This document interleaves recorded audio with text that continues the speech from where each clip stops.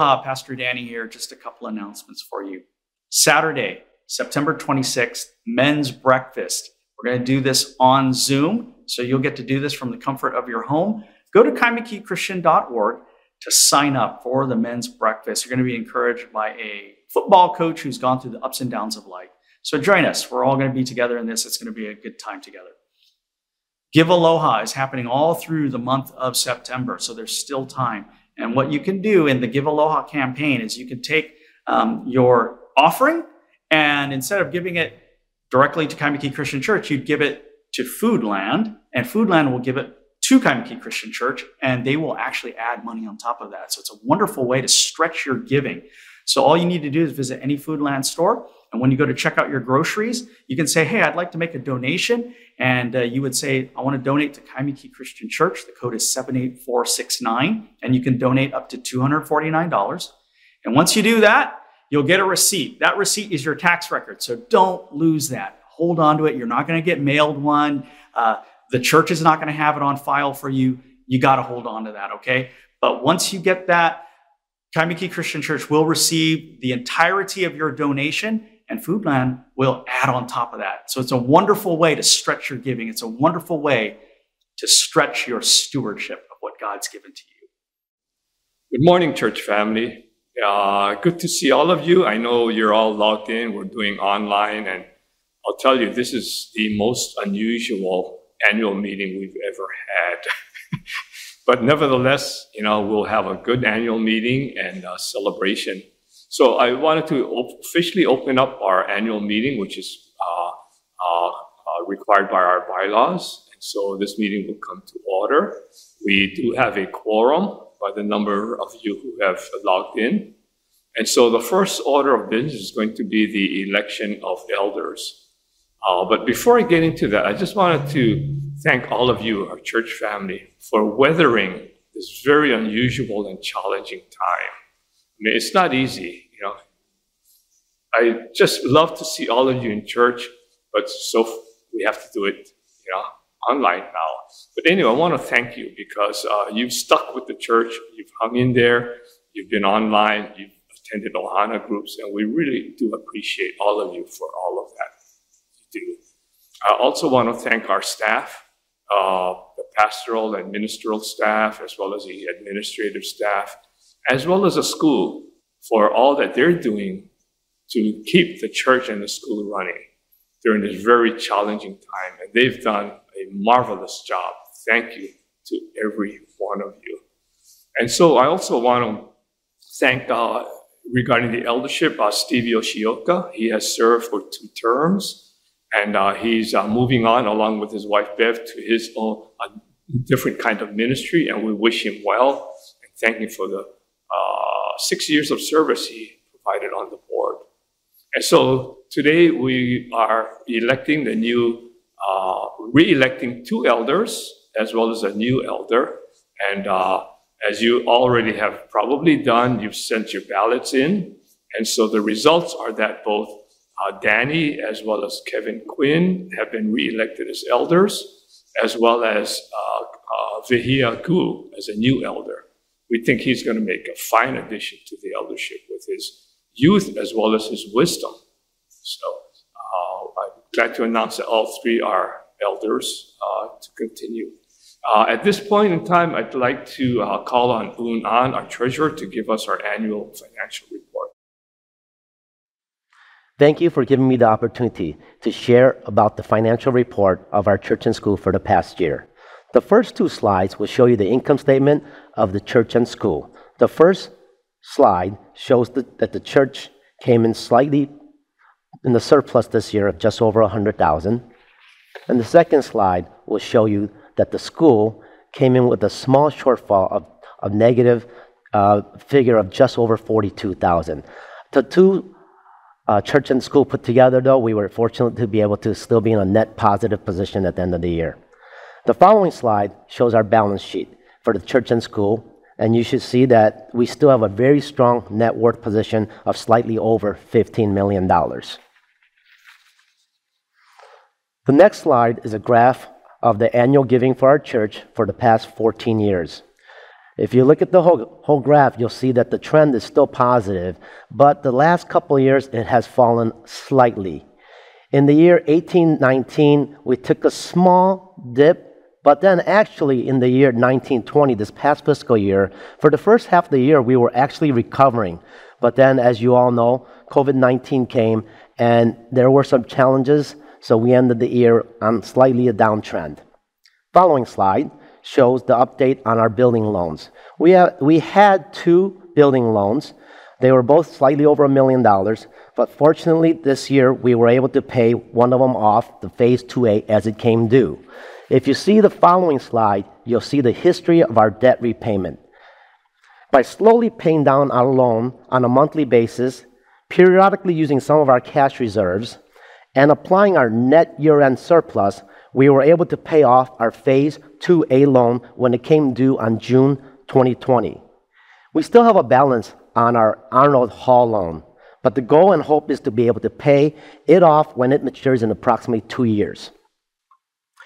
I'd like to end by reading the scripture Mark chapter 12, verses 41 through 44. Jesus watched the crowd putting their money into the temple treasury. Many rich people threw in large amounts, but a poor widow came and put in two very small copper coins. Calling his disciples to him, Jesus said, Truly I tell you, this poor widow who has put more into the treasury than all the others, she out of her poverty put in everything. Due to COVID 19, this past year has been financially challenging for our church and school. But through the PPP loan and unexpected windfall donations, we were able to come out okay. But I believe the difference maker for our church and school was the giving nature of our congregation as a whole. Like the widow in the verses I just read from Scripture, many of you struggled financially and had little, but gave much this past year. You gave faithfully and sacrificially. You have honored God blessed our church and school, and humbled me. Thank you.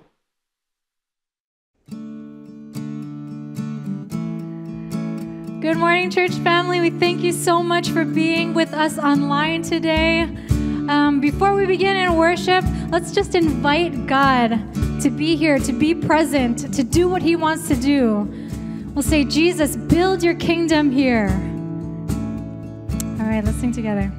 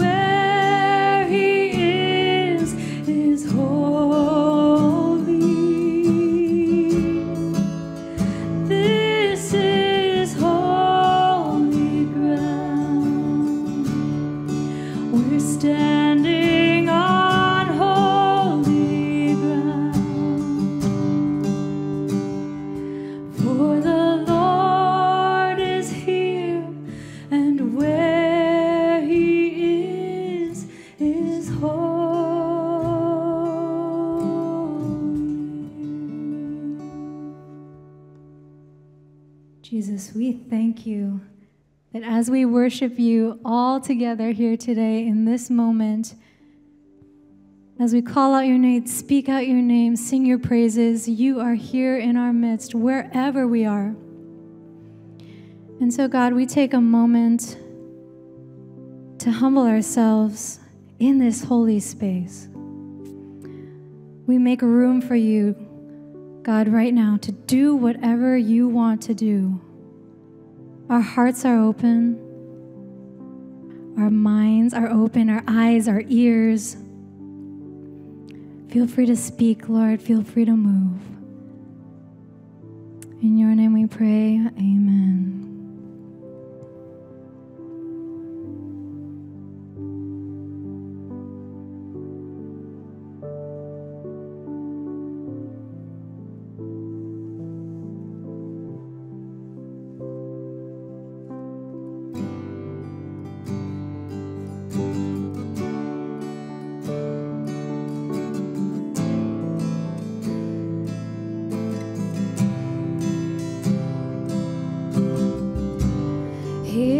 Where I lay it down.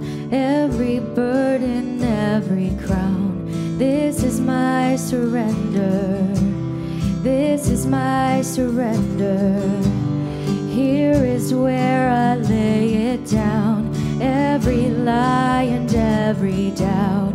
This is my surrender. This is my, and I will make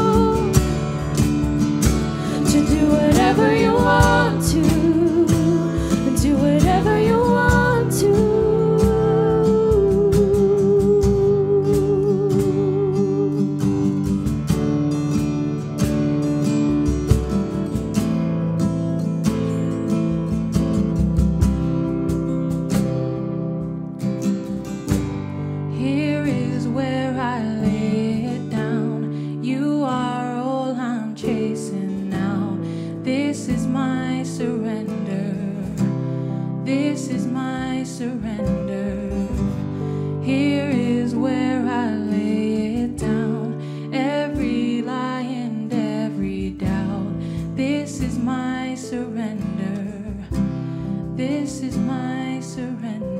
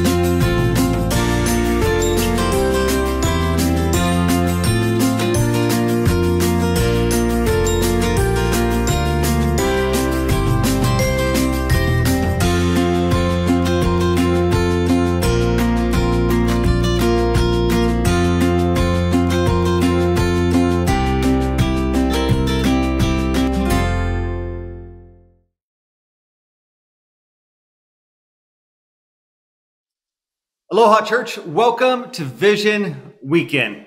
Even in the midst of uncertainty, even in the midst of this pandemic, we still have vision. God still has given us vision, and we are still going places. It is an exciting time for the church because we are reaching a lot of people for Jesus, more people than prior to the pandemic. You could say amen to that. In the chat channel, just write amen.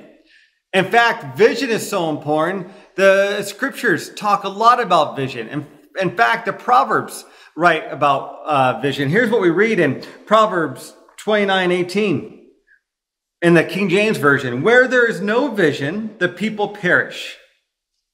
But he that keepeth the law, happy is he. In, in the NIV, it says, Where there is no revelation, people cast off restraint, but blessed is the one who heeds wisdom's instructions. As we look to the future in this Vision Sunday, it is important and appropriate to look back to see what God has done in the life of our church in the past 20 years, to see what God has done through the men and women, and to bring us to where we are now. And in fact, over 20 years ago, Pastor Ron had a vision that we would own the entire city block here. And what's fascinating about this time was there were a lot of homes on this block, but these homes hadn't been sold for 30 years. They just stayed in the same owner, the same families, and so nothing happened. But what is fascinating is that God gave Pastor Ron this vision. And when God gives us a vision, he starts opening up roadways. He starts opening up ways to make this vision happen. So Pastor Ron gets this vision, and then what happens is slowly but surely, these properties on our block start to become available to us. And in fact, let's hear from two people. One is uh, Sel, who was our realtor, uh, who is our realtor, and helped us with the acquisitions of all these properties. And uh, and then we'll also hear from Gene about their experience 20 plus years ago. Uh, the process of purchasing the properties that's the story in itself and that's you know that's, That's definitely another- the lord's hand at work because Absolutely. um, there would have been no way we could have purchased everything if it had come on the market other than the times each property came on the market basically uh, so if, every, if multiples came on at one time we would have had the wherewithal to Exactly. proceed and we were able to acquire property by property over the years in a neighborhood where properties just hadn't sold historically in 20 30 years nothing had changed hands prior to that so they would decades. approach. They would approach what Jerry or Mark. Each one was in? different. Uh, some Yeah. some uh, we had to some we approached them, and some they approached us, and some some you know weren't overly happy about the expansion of the church, and said, well, maybe it's a good time for us to look for something else, and we helped them do that, relocate to other places. So each one was each, each situation was different. Okay, so then first was the Eben Chan house. I thought that was a miracle because that was one of I think one of I wouldn't say an opponent, but you know he didn't really like what was happening. So I said, okay, well that's that's you know okay. Then we did the renovation and then the lot, um, the the parking lot. I thought, okay, it's okay. Then the Bauhaus, I went, wow, that is amazing because that house was just uh, brothers and sisters living in that house. But what happened to them is they were all having health issues. And so they couldn't stay in that house. And one of them happened to be my mom's friend, you know? And I went, what? So that happened. And I went, oh, oh, okay. And then the Ventula house. And then the Asato house. Uh, I think from the Bauhaus on, I became a believer. I just said, this is God. This is absolutely God. And like I said before, watching all of these houses just come to us, you know? I mean, and we're having the money to pay for it at that time. The timing, how can that be a coincidence? That's God. So, whenever we talk about vision, we have to always remember our mission. The mission doesn't change. Vision can change depending on circumstances, depending on what's happening, but mission doesn't change. And here's the mission of Kaimuki Christian Church. Our mission of Kaimuki Christian Church is to glorify God by making disciples who love God passionately and their neighbor as themselves. So, this idea of this mission to love our neighbors as ourselves, to make disciples, to, to, to have people know Jesus, that has been the propeller for the vision, the propeller for everything that we do.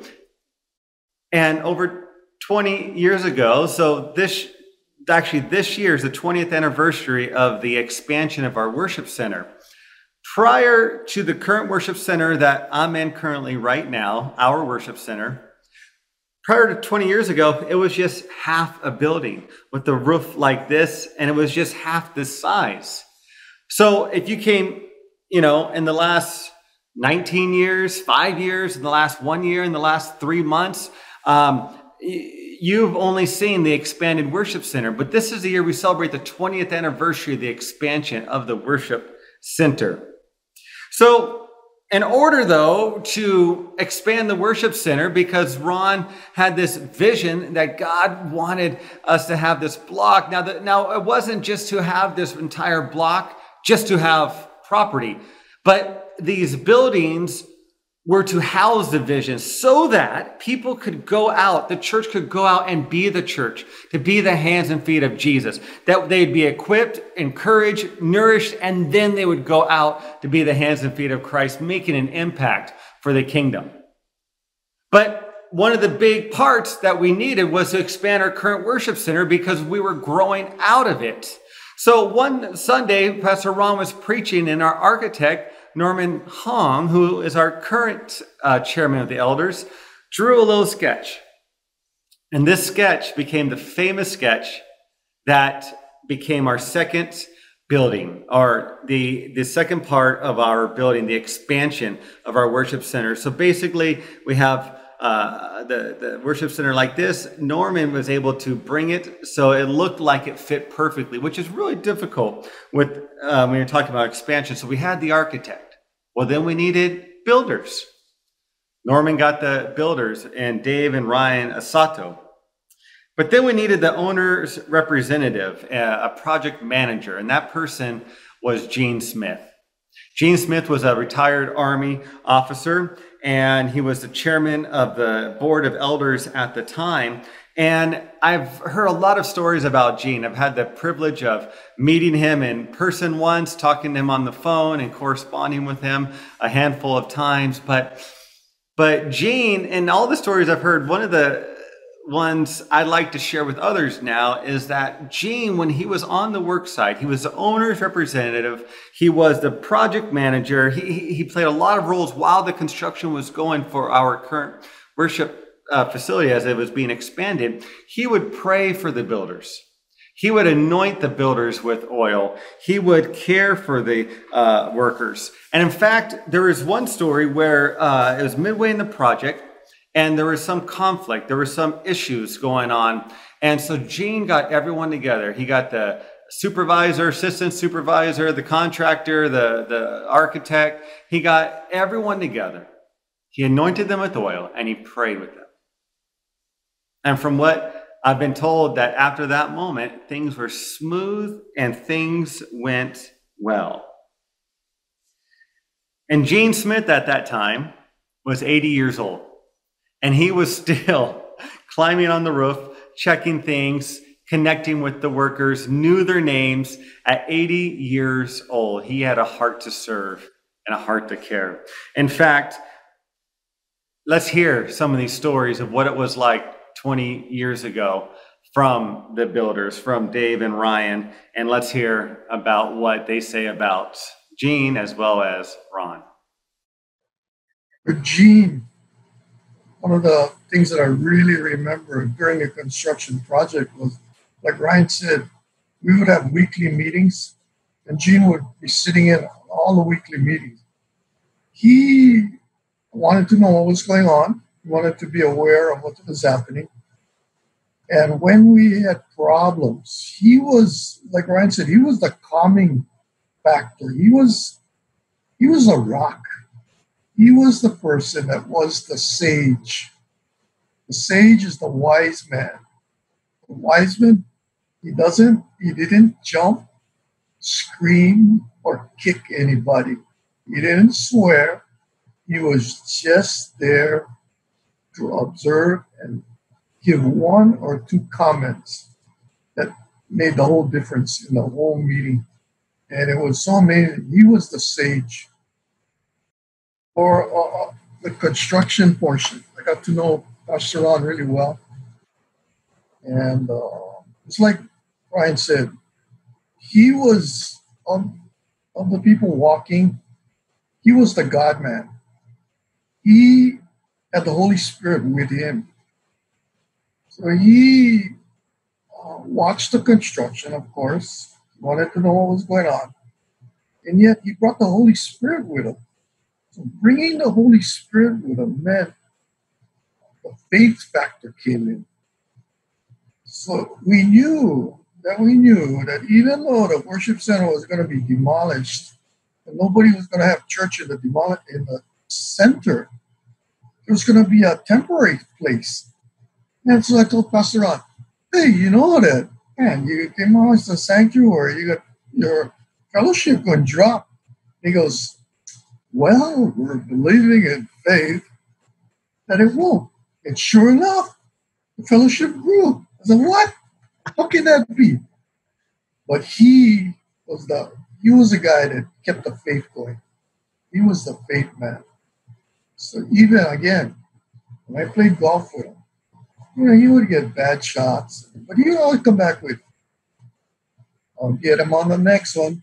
So he was an optimist. He was always smiling.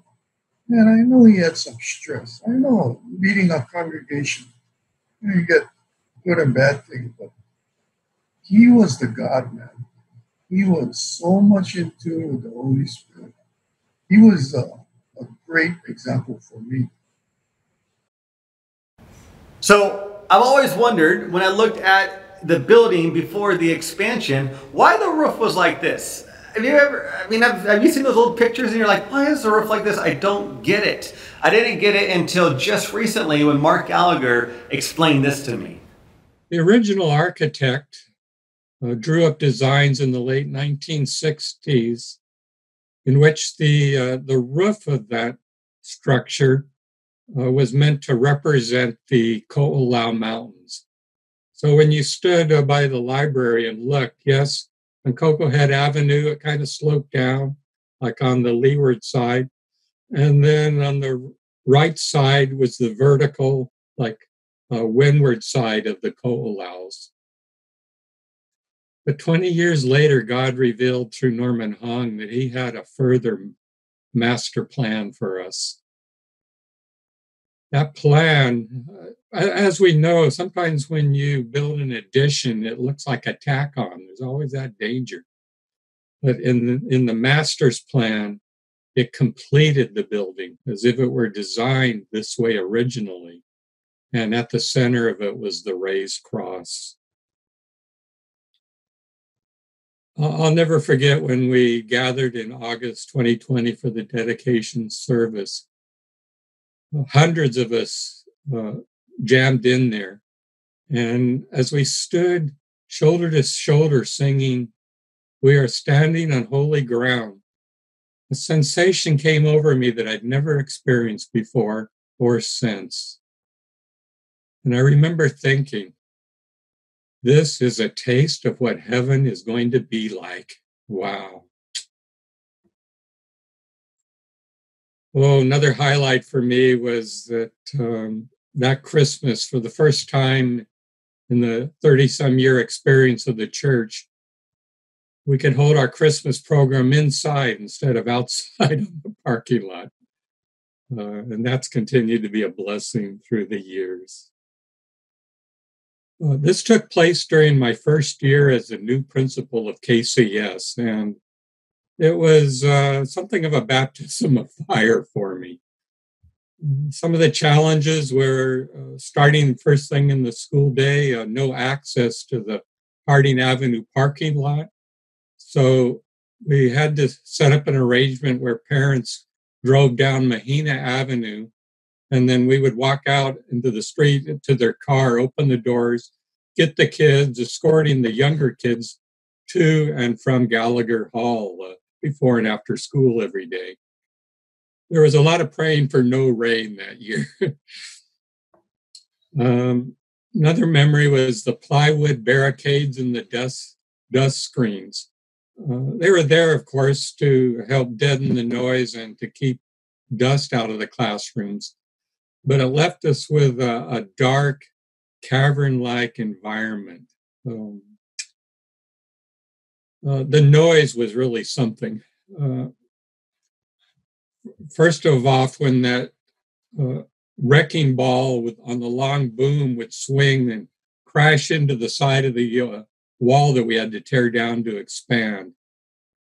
And then that was followed by, uh, for quite a while, it seemed, jackhammering through blue rock, that solid rock, for the shaft of the elevator, about 25 feet from my desk. Um, very memorable. the lack of access to the fellowship hall and worship center presented some challenges. Uh, we had to make accommodations. Uh, a real blessing out of that was Pastor Takaoka opened up his facilities on Waialae Avenue to allow us to have a nice place for our Friday chapels. Uh, real quickly, uh, memorable back on the noise that we had to buy industrial strength earmuffs for everybody. Applications for the following school year were down. What would happen is parents would come in the fall and early spring to tour the campus, and they were dubious. I could just see it on their faces when I told them, uh, You got to look beyond this. This is all going to be done before next school year. As an elder of KCC, it was it was hard to see some of our longtime uh, church members leave. Uh, they, they were pretty honest about it. Some thought that it was not a good use of funds. Others didn't want to see us grow, frankly. They were they had grown comfortable over the 30 years we'd been in that smaller worship center, and, and they were happy that way. As I reflect back now on the last 20 years since since that construction of our expansion of our worship center, it's obvious to me that that was like a major uh, stepping first stepping stone uh, for the plan master plan for the block that god has continually revealed. It's been exciting and i'm just excited about what we can expect to come. Uh, keeping in mind that the building is not the vision it's meant to house the vision. Praise god one of the things I've learned about our church is I've studied our history, and as I get to share about our history, and I get to uh, hear stories from some of the legends, and, and I refer to the legends as, as, as the men and women who've been here a long time, who are committed. Uh, they might think I call them legends because they're old, but that's not true. I call them legends because they're like pillars. And but one of the things I've learned from from these great men and women uh, is is that as we as we look at the history of our church, our church has always been for the keiki and the youth. You could write amen in the comments center, write amen. We love our keiki. We love our youth. We love our young adults. But even the building, um, and, and, and everything we're doing on the block was, was for the next generation. So we care for the youth. And in fact, when, when, when I got hired here almost two years now, when I got hired here, the first person we hired was our youth and young adults pastor and Cameron Henderson. So we have value, Keiki. We value youth, and we're going to continue to value the next generation and build them up and train them, empower them to reach uh, their generation for Jesus, and then the next generation for Jesus. And it's exciting times are ahead of us. And so our church has always been for Keiki and youth. Here's some stories to explain that it was just a blessing to be a small part in the construction. And, you know, not only that, but uh, my my daughter Kylie was mm-hmm. able to graduate the first graduating class at Kaimuki Christian School. She graduated from there, and that was awesome. And right now, my daughter Racine is in the sixth grade, and so like dad said, you know, you, hindsight is 2020. And looking back, I never would have thought all this would have been possible. But I guess it's God's upper story. Wow. He was able to orchestrate this. And in my simple little mind, I would have never thought that this would have been the plan. And it's amazing to see that it's not only the church, it becomes the school has expanded and soon soon uh kaimuki christian will have the whole block, which is such a blessing. You know, put in a gym and, you know, Pastor Ron's vision and Norman's vision, everybody's vision is coming, and God's going, I knew that already. You know, it's all. um, I had a chance to grow up at the church, and I remember the old building. It was such a nice, loving, welcoming place, and um, I grew a lot there. Um, so it was awesome. And now that 20 years later, I, I, have four children, and I'm so grateful that the building is bigger. I feel like it's more welcoming. I feel like it's more comfortable. I know that my children are going to be able to grow there spiritually as, as well as physically and emotionally and all that stuff. So it's just an inviting place. And this new building uh, is very special. And I'm super uh, proud to, to see it go from the smaller building that it was to the, the bigger building that it is. And I feel like more people can, can fit. We could invite more people, our, our, our children, my children, and maybe their children. uh, we'll get to see this thing grow. In 20 years, it's gone from something great to something amazing, and in the next 20 years, it's going to be even better. So I can't wait to see that. But happy birthday, building 20 years. Chew! It's been a home for four generations of our family.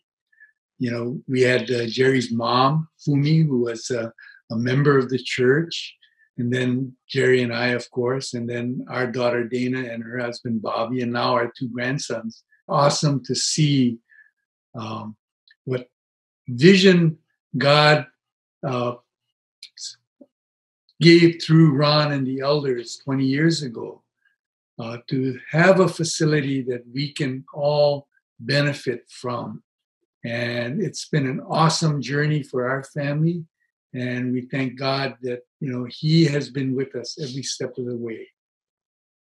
I think it's always been really um, comforting for me to know to have grown up in the church. You know, my I grew up in well, I spent my high school years in the church.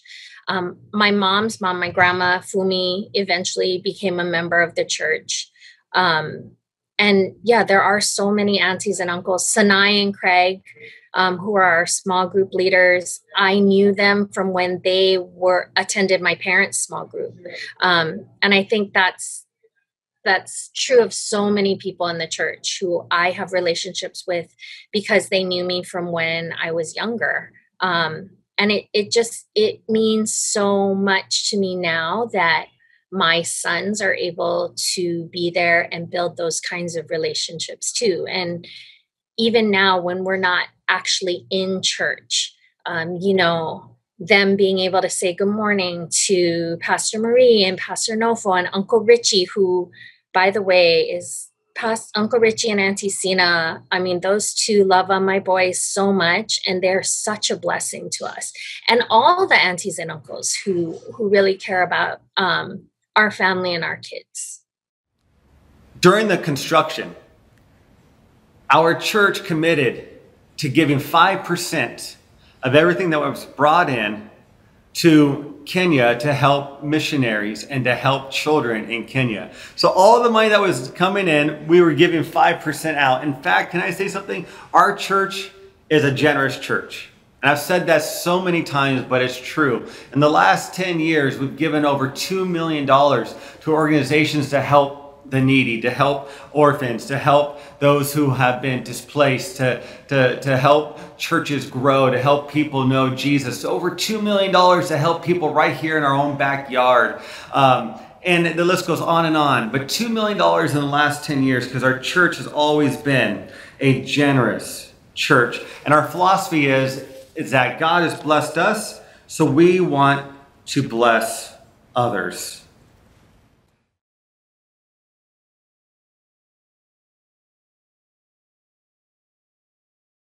we saw how the mission and vision was being acted upon, and it was not just something words that were on the on the wall.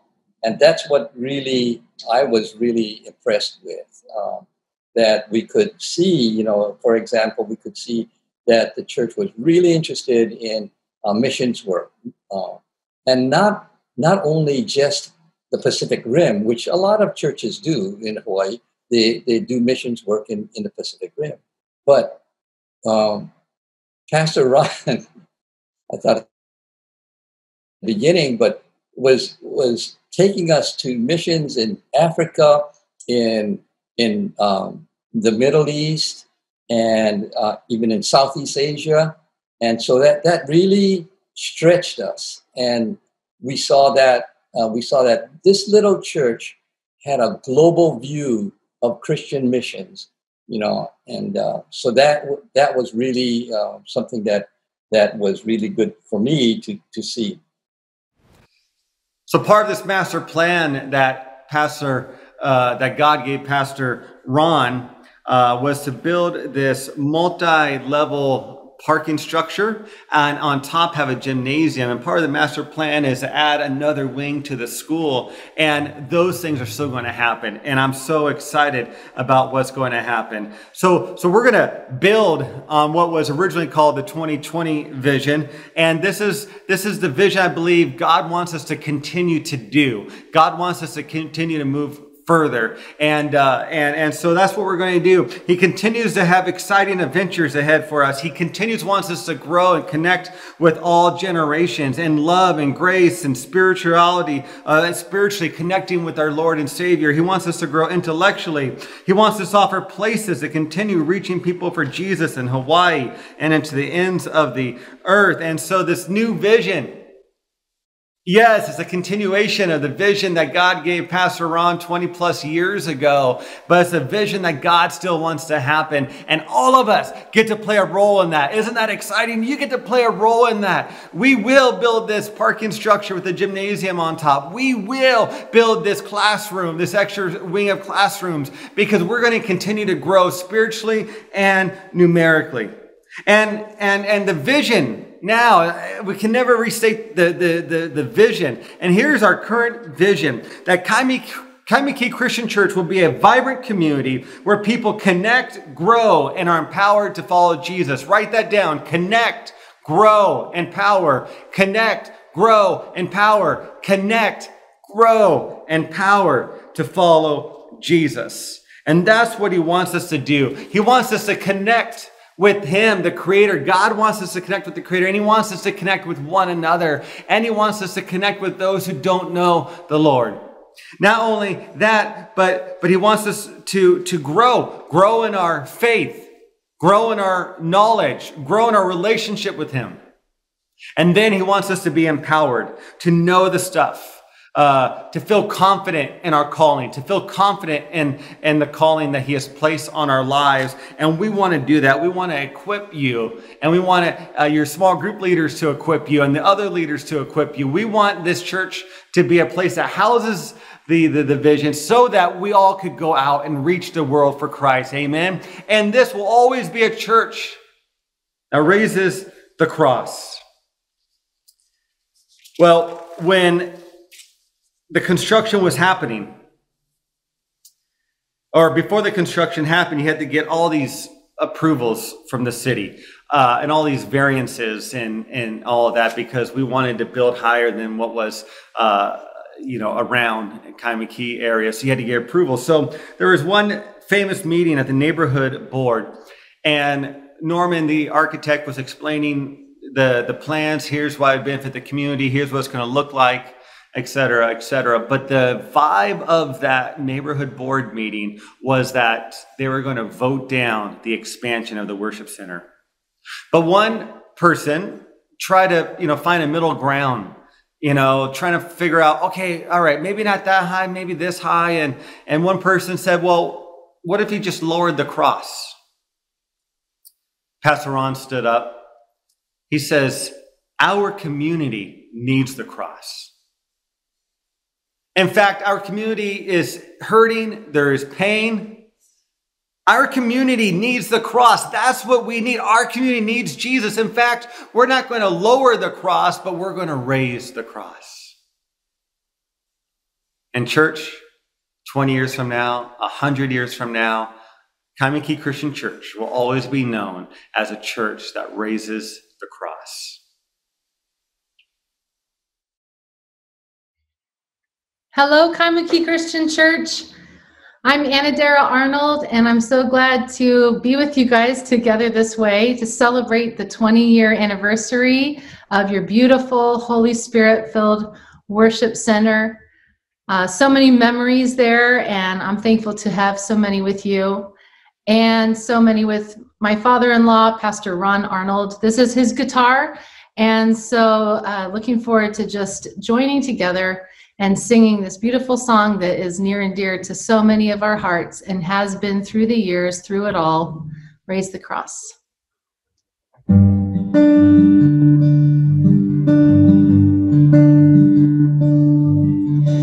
Lord, you've given all. Jesus, we've heard you call. You lived and died. You sacrificed your life. Lord, we celebrate. Jesus, we dedicate. We live our lives to hold your banner high. Hold it high.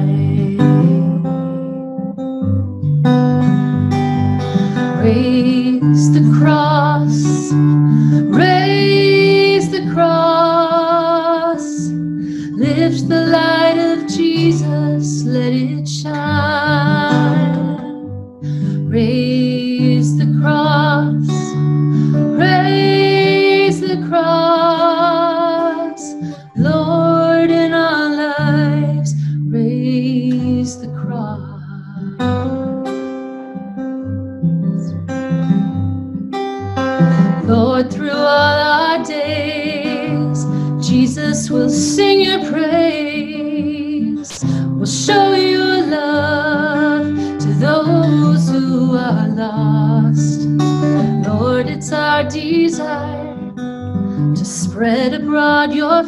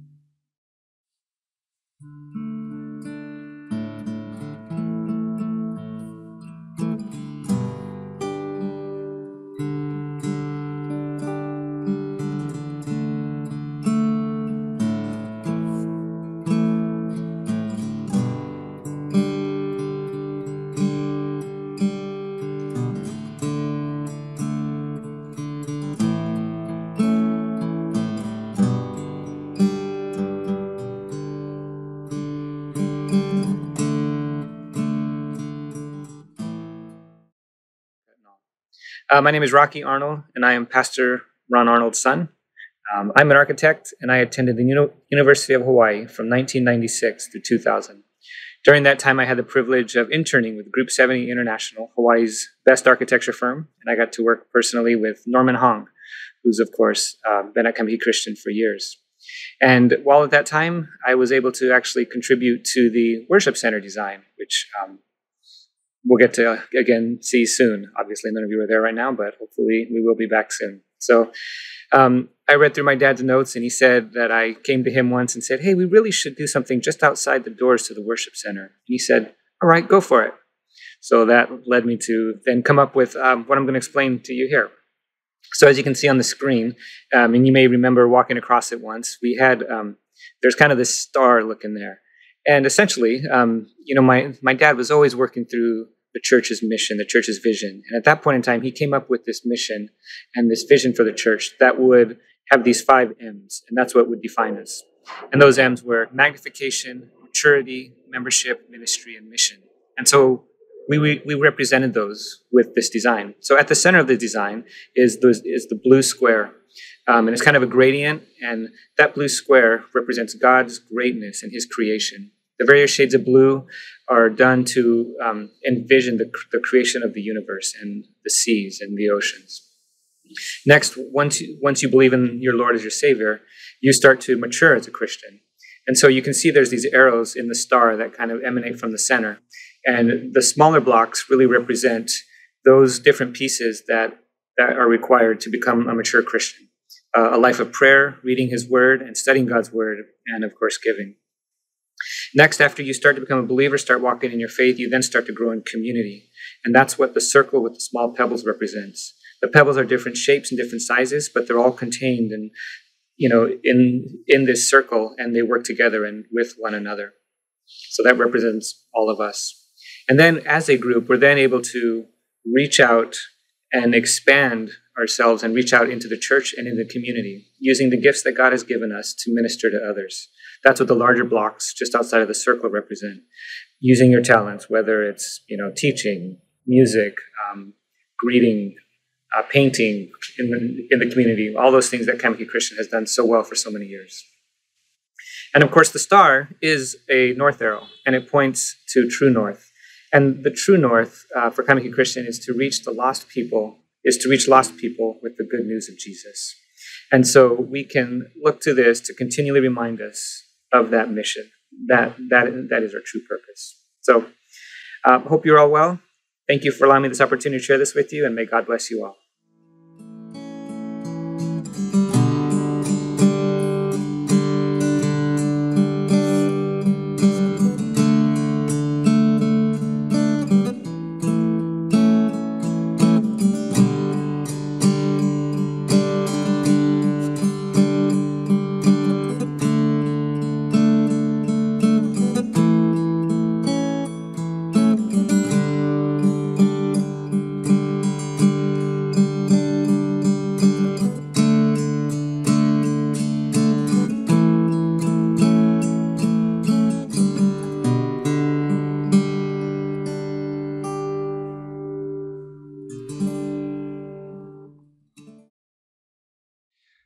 So the capital stewardship program, uh, I remember when I first heard about it, it was uh, something I've never heard of before, and I didn't know that churches raise money that way.